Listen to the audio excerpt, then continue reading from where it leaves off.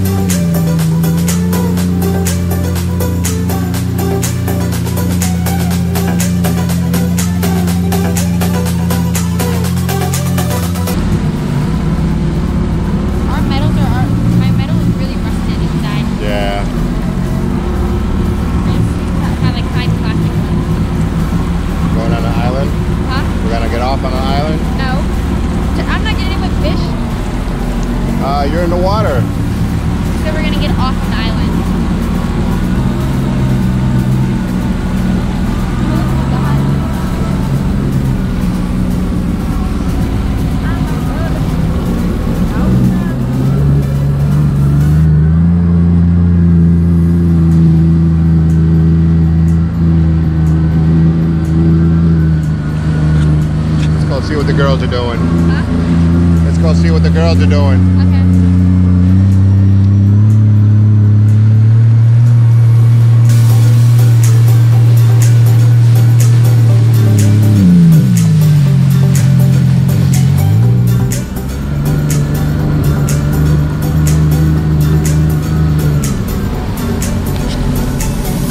everybody's doing selfies. Guess we gotta do a selfie.